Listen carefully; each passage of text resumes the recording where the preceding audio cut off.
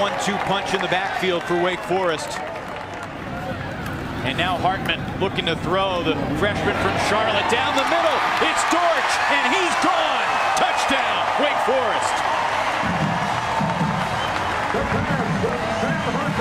54-yard missile, and the Deacs are on the board.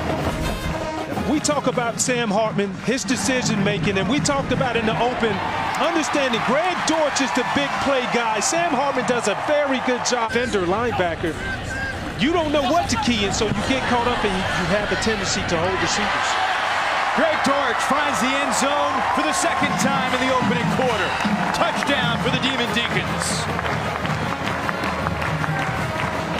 Tar coming into this game targeted nine times, and he just did a simple out route that froze Jorian Clark, the safety, though they've registered a lot of freshmen that come in. So Bill having this a game experience is huge. On third down, Hartman finds Dortch, and he's gone again. Third touchdown of the half. Greg Dortch is something else.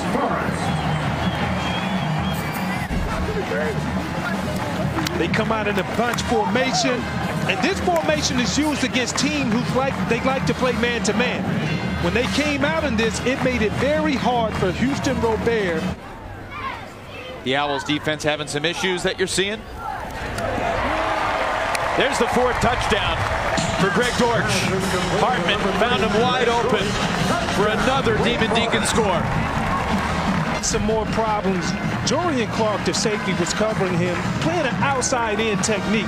I don't know whether or not if he was expecting somebody from the inside.